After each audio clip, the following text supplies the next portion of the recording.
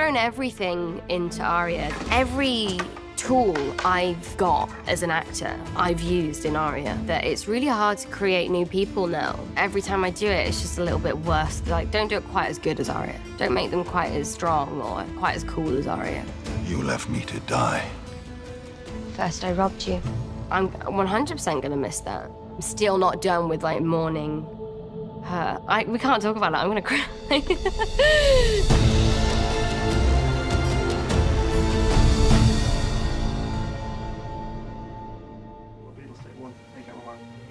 I was quite young and I had such a big imagination. In those scenes when I was younger, I would really convince myself that I was there and it was happening, you know? That was the only really way that I knew how to act, just by really living that sort of moment. Bring me his head. No! Stop me, Please, someone stop him! I cried at Ned's death. I found it really, really sad, but I think also because I was reliving what it was like shooting it. And like when we were there, hundreds of extras screaming, traitor, murderer. There was this one time that we did it and I was just crying so much and it was really sad. So when I watched it again on screen, I couldn't stop forgetting that pain, that like just just scary, just confusion again, like the same thing. All those emotions that Arya felt, I really feel like I did feel. So watching that, I was really teary. what a wuss.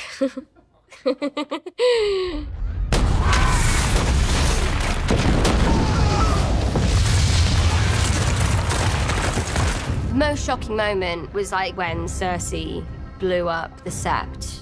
You saw cracks in Cersei's armor before that, but this was like the moment where she went full psycho.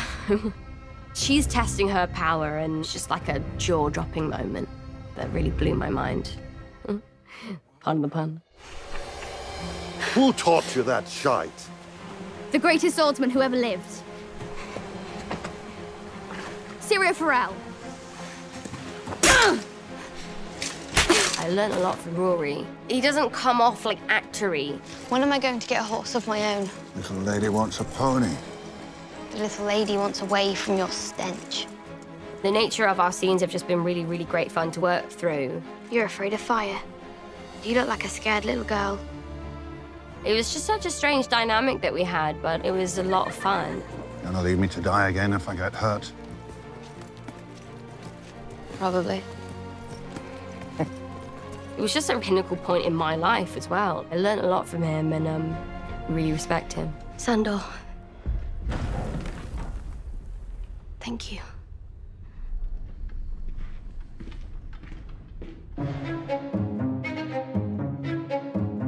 Remember being really late, being tired, but also being like, having a good time. I was flicking pigeon pie at Sophie. That was my first day on set, yeah. My favourite bit probably being flicking food at Sansa. They were saying, can you just like try and get it like right on her cheek? And I just remember thinking like, you want me to actually aim it? Like, can't you do, this is the movies. Can't you make it happen? remember thinking, oh, maybe they're gonna fire me because I can't get it right. But they didn't. I'm still here, decade later. it was really great fun. I never could have survived what you survived. You're the strongest person I know. I believe that's the nicest thing you've ever said to me. Don't get used to it. Still very strange and annoying. Honestly, the most fun I had was working with Sophie. Just messing around, just being two 20-year-olds on, on a film set. when we did that scene when Arya's grilling Sansa and Sansa's like, what, you were off training and we're slagging each other and like really going at each other. That day on set, I've, I've never laughed so much in my life. It was so much fun. It was a day with the wheelchair. I've still got that video, jeez. Me and Sophie just messing around on um, Bran's wheelchair. we were just going mental. We get on really well in real life, so it's really annoying when we have to go and then sort of I'm being a bit horrible to her and she's being a bit rude. She's just my best friend. I mean, like, who else gets to go to work with their best friend?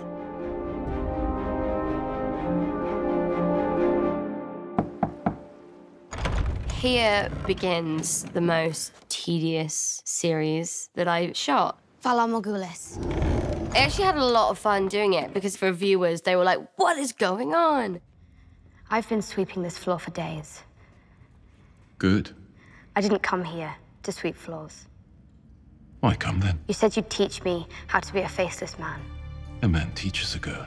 She wants to get into changing her face and stuff and killing people and doing cool things, but it's a slow and long process, which she ends up messing up pretty quickly. Ah!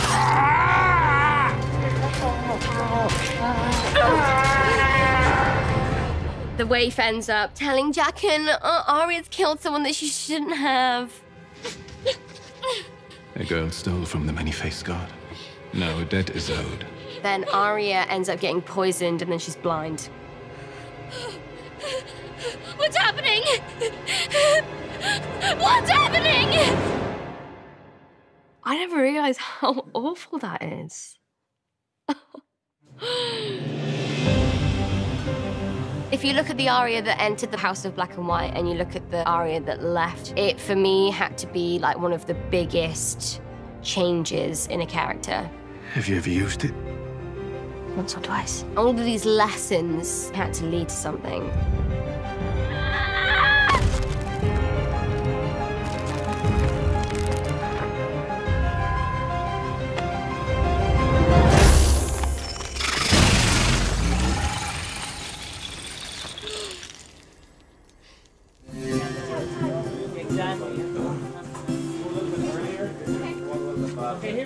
It's like school to me. It's really shaped me as a person. In school, you learn equations and you learn spelling and you learn maths, physics. Uh, but then when you leave school, you go out into the big wide world and you learn about yourself and you learn about people and you learn about how you connect and communicate. Where did you learn all this stuff about Visenya and her Valyrian steel sword? From my father. Can't say I've ever met a literate stonemason. Have you met many stonemasons, my lord? I'm so confident. I've just got this confidence from the show and from playing Arya. I really feel like I just want to inject that into each and every person that I know and love, but then also any girl that admires the work that I do. I want to let everyone sort of feel that sort of confidence that I've been lucky to feel because of this show.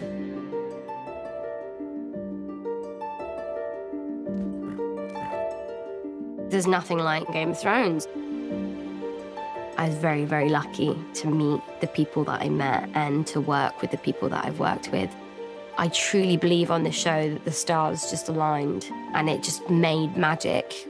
I think it's rare to find a group of people that work together so well and care about each other so much. It's been a really safe place for me to mess around and figure out how to be an actor. If I do nothing else, I'll be happy. Thanks to you guys, you've completely changed my life and my family's lives forever. And I'm really grateful for that. I'm lucky that I play Arya and no scene is ever boring.